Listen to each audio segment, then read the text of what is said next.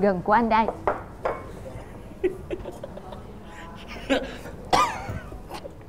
Bộ Chuyện vui lắm hả? Không phải chỉ vui không đâu mà còn xàm lắm luôn em. À anh đang đọc tới cái khúc thỏi trắng cãi nhau với thầy giáo tiếng anh. Xong qua đây? Đây.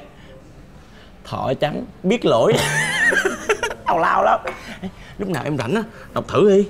Thôi em không thích đâu Mà em nhớ là anh cũng đâu thích đọc truyện tranh đâu. Anh cũng đâu thích đọc truyện tranh. Không biết sao bữa đọc chuyện này xong á anh bị cuốn theo tới giờ luôn. Rồi đó Anh ăn thử coi.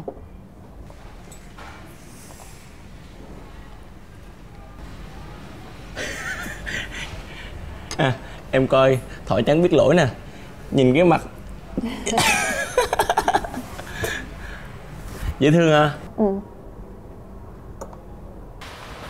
hết mệt rồi nhưng mà vẫn còn mệt. Vì nhớ em. Anh nè Em có mua thuốc cho anh đó.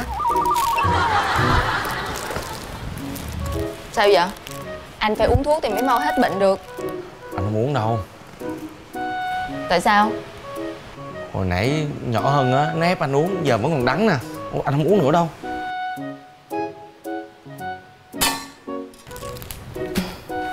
Anh đó. Hôm qua mà nghe lời em Ăn hết tô cháo hào á Thì có khi giờ không bệnh đâu. Anh ăn gì chưa? Để em xuống nấu cho anh tô cháo nha. Quay cô định phá cái bếp tôi đó hả? Tôi lỡ tay.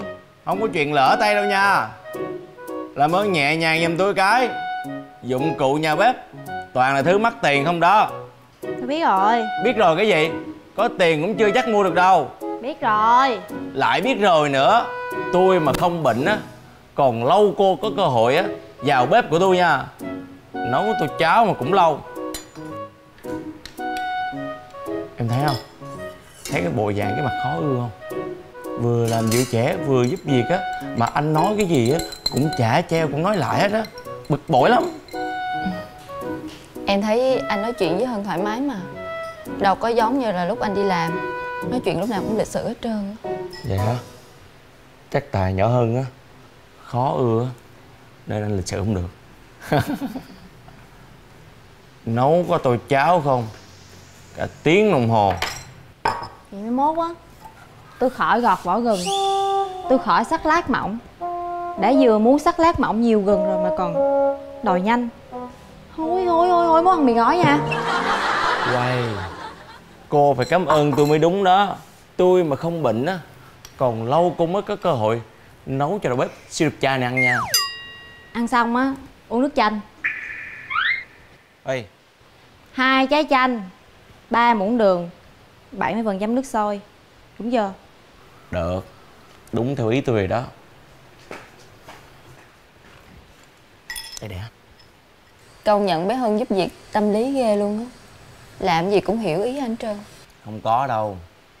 Quý cô ngang ngược khó ưa đó. Á Anh nói ai ngang ngược? Thì ở đây có hai người. Một quý cô thanh lịch một ngang ngược. Cô nghĩ ai là ngang ngược? Không chỉ ngang ngược đâu mà nói chung á còn sáng dạ nữa. Anh giữ mấy cái câu khen khen đó hả? Cho anh đi. Ai mà dám nhận mấy câu khen đẻo đó? Ừ. Vậy tôi sẽ rút cái phần sáng dạ lại ngang ngược khó ưa. Cứ giữ đó mà xài. Đáng ghét. Ghét là đúng rồi. Một mình thư thương tôi là đủ rồi. Em không thử không? Cháo ngon lắm. Thôi anh ăn đi. Ăn đi cho mau khỏi bệnh. Đúng là cháo nhiều gừng ngon thiệt. Rồi Có vẽ cá mập xong rồi. Con thấy có giống không? Dạ cô thấy cũng giống lắm mà. Nhưng mà không phải cá mập đại dương của con. Ồ vậy hả? Vậy chứ cá mập đại dương là phải vẽ sao? Chỉ cô với coi. À cá mập đại dương của con đây nè. Cá mập đại dương là vậy á hả? Dạ.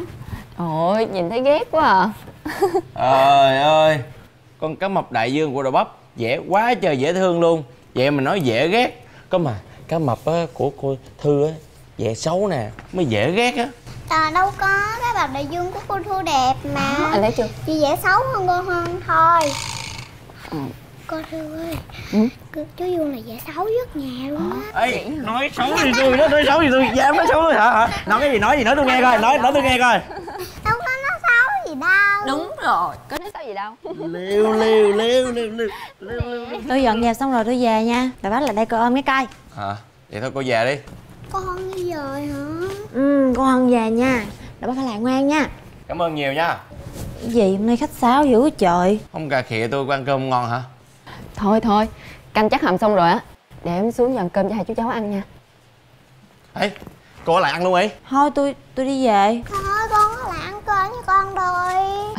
Thôi Hơn sẵn ở lại ăn cơm luôn đi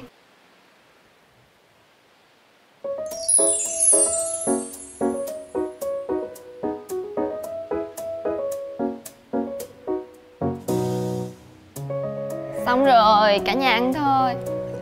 Ráng nhìn đi mà học hỏi. mấy cái món này tôi cũng làm được mà. Cô á, làm sao mà cùng đẳng cấp với lại đầu bếp siêu đẳng. Ăn nè. Con mời cô cho ăn cơm. Ờ, con ăn đi. Ê, cô Thường lấy cho con nè. Cảm ơn Cái này á hơi nhiều ớt á, cô không ăn ớt được á, gạt ra lựa chỗ nào mà không ớt mà ăn. Còn cá hơi nhạt so với khẩu vị của cô. Muốn ăn á đúng với khẩu vị của mình á, tự lấy nước mắm chưa?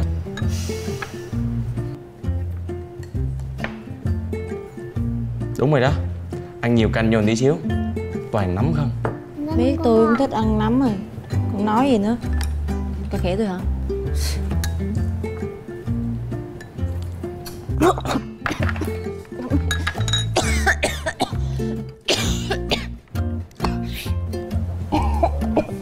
cho cố vô rồi sặc.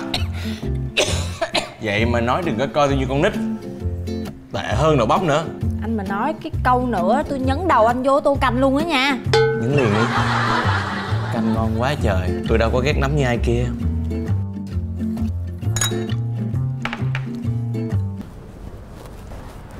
Mới đi làm có chút xíu mình nhớ đầu bắp rồi hả? đâu có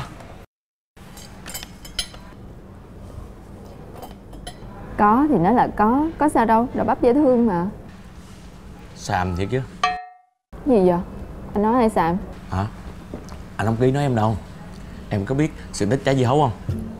Ờ thì ờ, mai ăn tim ra đảo rồi ờ, gặp hạt lạ gì đó, đúng không? đúng. Đó là trong chuyện nhưng mà chuyện út bận á tào lao lắm. Út bận mới là người đưa hạt dưa hấu cho mai ăn tim Cái gì mà ăn tim rồi út bần ở trong đó nữa? Trong chuyện của hân á út bần mới là người đưa hạt dưa hấu cho ăn tim. Xàm lắm trong lúc xuyên không á út bần bị mắc kẹt hạt dưa hấu trong răng á sau đó đưa cho ăn tim ăn tim lên đảo rồi mới trồng có trái dưa hấu mới có dưa hấu như ngày hôm nay.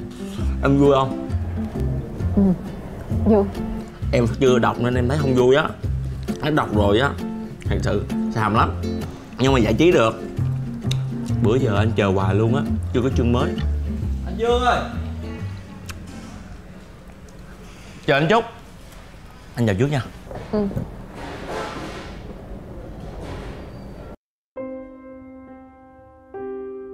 Mới buồn đó mà nhắc tới Hân là vui liền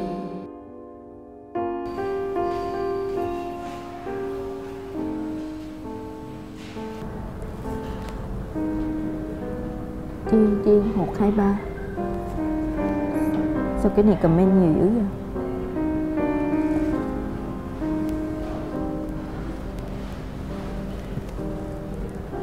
Không lẽ là Duy Dương